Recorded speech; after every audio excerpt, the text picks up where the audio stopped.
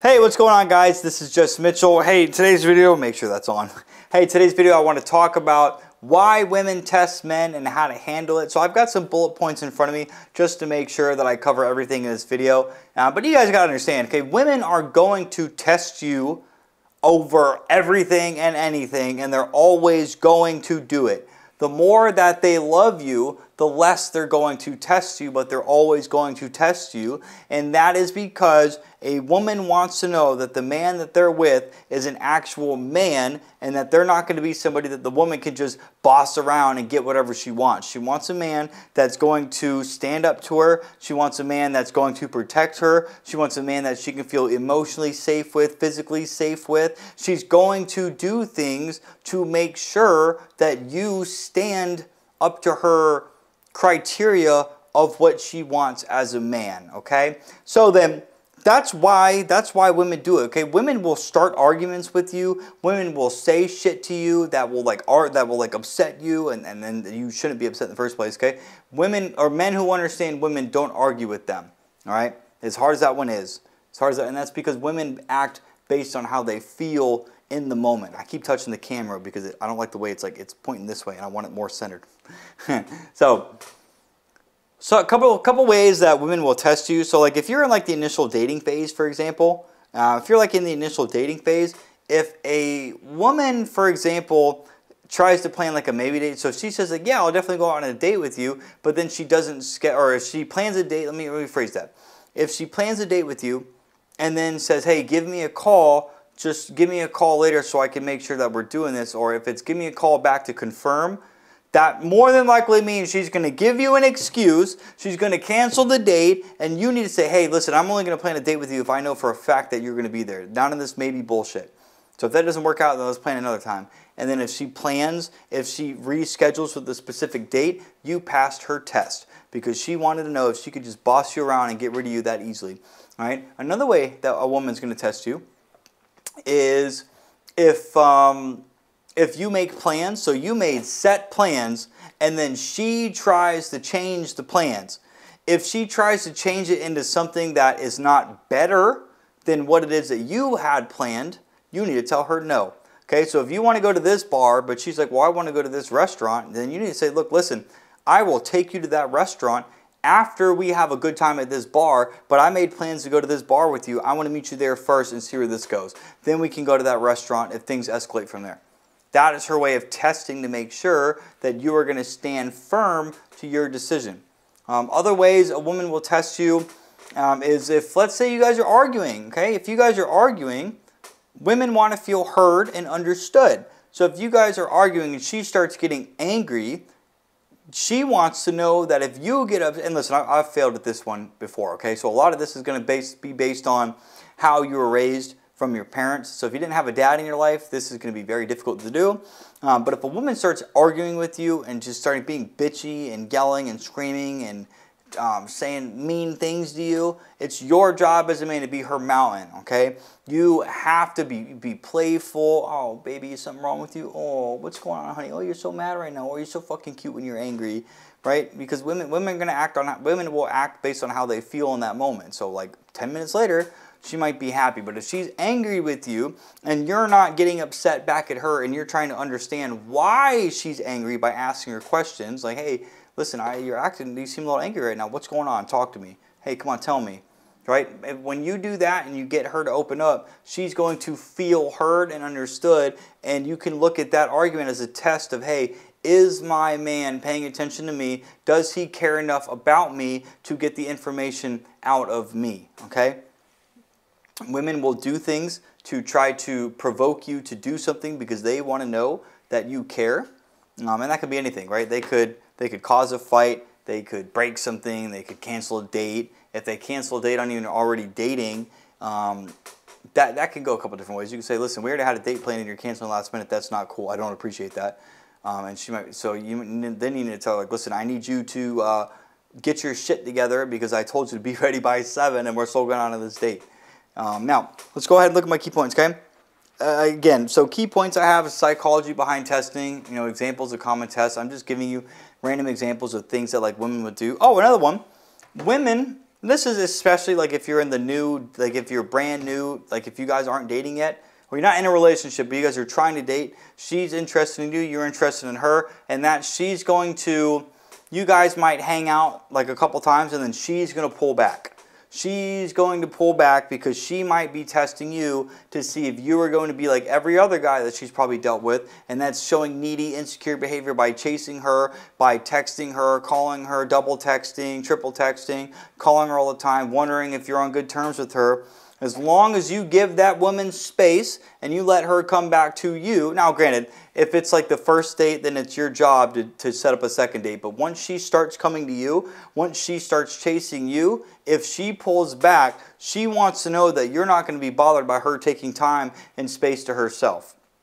So something I struggled with until I learned that this is mandatory in relation to dating is it's almost like both parties are playing a fucking game all the time. She's going to do shit that's going to upset you, and then you got to be okay with her doing that, and you got to show her that it doesn't bother you, and you're going to either you're you know you want her in your life but you don't need her in her life. Women scientifically proven that women are more attracted to men who are uncertain about their feelings okay so if a woman's always if a woman thinks that she likes you more than you like her then you more than likely will never have to worry about her leaving you, okay? That's where you want to be, is always one step behind her, so that way she's chasing you. Because if a woman's chasing you, she can't be getting rid of you.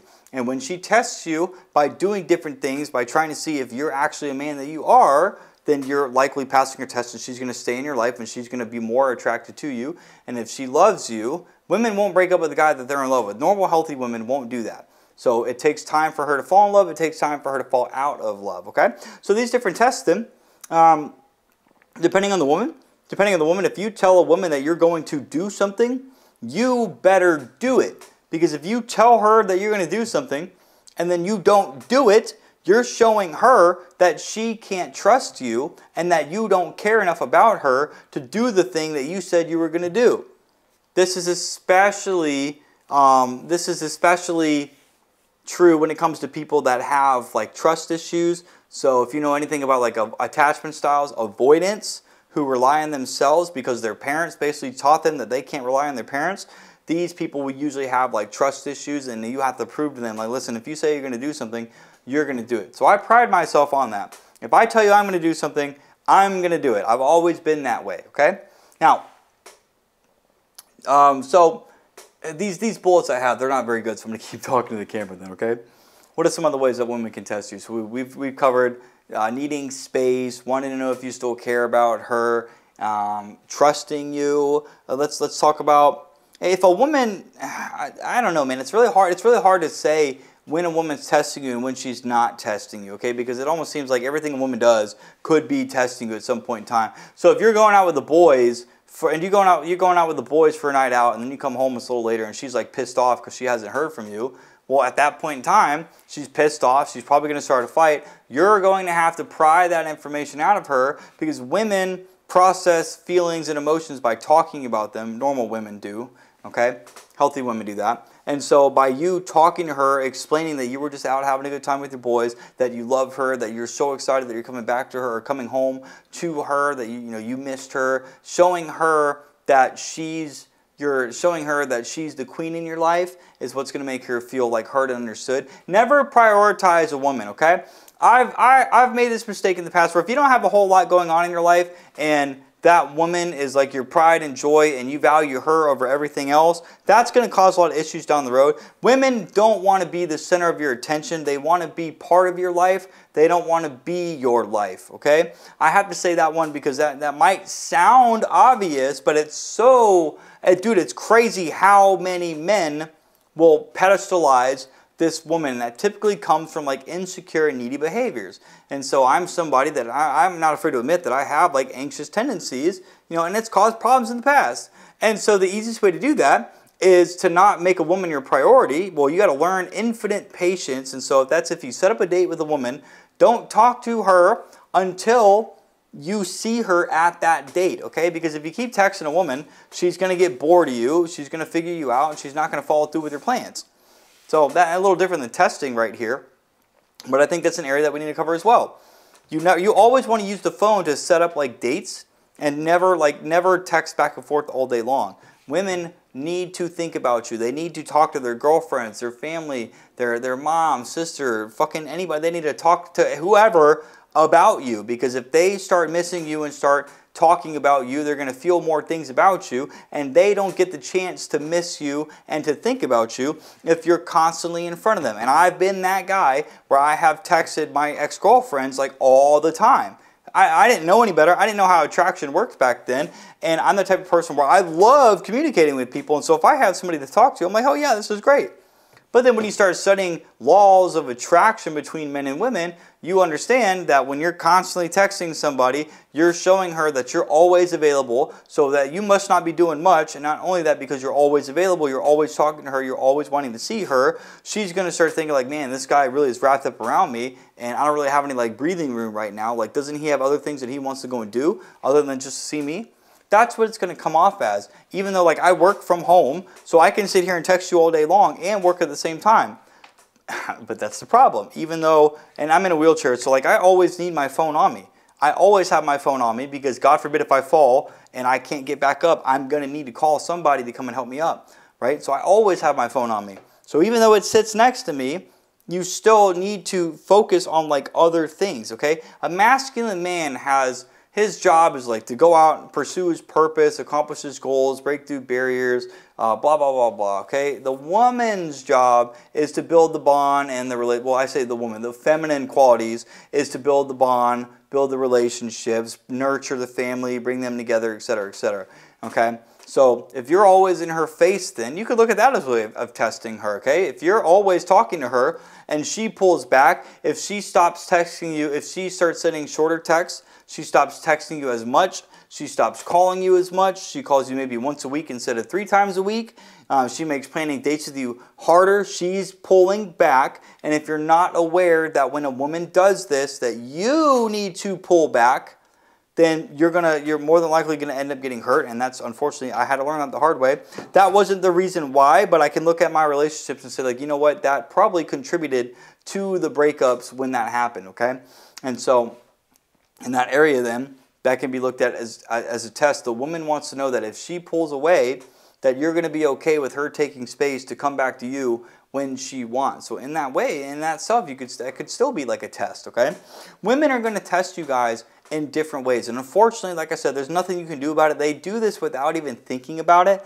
And as guys, you know, we're logical creatures. We're like, well, if they know if they know that we love them, we're not going anywhere, and that we're always going to come back to them, we're going to care for them and love them, why would they need to be testing us? Unfortunately, women are estrogen based creatures, so they are going to act on how they feel no matter what. So if a woman uh, if a woman feels happy around you and she loves you, she's going to test you less. But if a woman compares you with like anger, sadness, or like boringness, or like every other guy that doesn't excite her, she's going to test you more because what she's trying to do is feel something different about you that she likes that these other guys aren't able to give her.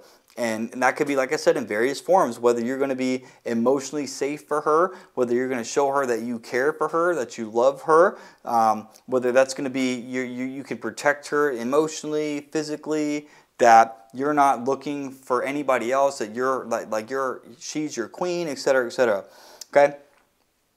Fortunately, there's no like straight answers into how a woman's going to test you. Just know that no matter what happens, you always want to make sure that she feels heard and understood and she feels loved. So if a woman gets angry at you and starts talking to you, you need to ask her questions to figure out why she's angry, if it has anything to do with you, and if it does, remember, you never want to fix something. Women more than likely already have the answer, but women women will talk about their problems because talking about a problem makes them feel better. All right, so guys will naturally try to fix things because that's what we want to do is fix things. You cannot offer to fix something unless the woman asks for it. So you if you're if you're unsure, say, "Hey babe, are you wanting my opinion or do you want me to just listen?"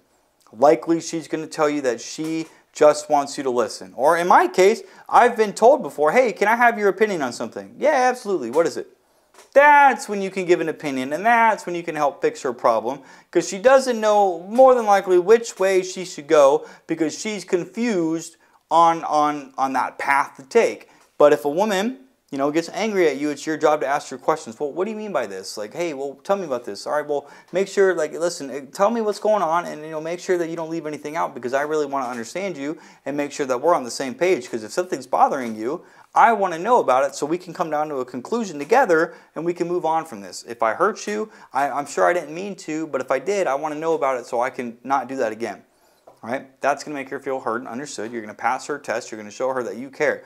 So that's going to be the video, guys, about women, uh, about passing tests and you know why women test men and how to handle it. Okay, make sure that no matter what happens, you never, ever, ever want to argue with a woman. That's going to take some practice, and you want to make sure that you can you can practice um, emotional control. You do not want to freak out, overreact, etc. Because feminine energy is chaos. That's where the woman gets angry, starts yelling, freaks out, etc. Masculine energy is calm and collected. Okay. If you're not used to being calm and collected, like I, you know, like I said, growing up with me, uh, I, I had parents that like fought all the time. So that's what I know how to do. It takes a lot of conscious effort in that moment to say, okay, I'm gonna, mm, I'm gonna, I'm gonna relax. I'm not gonna freak out, and it's gonna take some practice. But that's gonna be the video, guys. Go ahead, like, comment, subscribe if you want to see more. And if you have any questions, you want to talk about anything, or maybe you have different ways that women test you that I didn't know about, leave them in the comments down below, so that way I can read them and that other people can read them in the future as well. That being said, guys, I'll see you soon.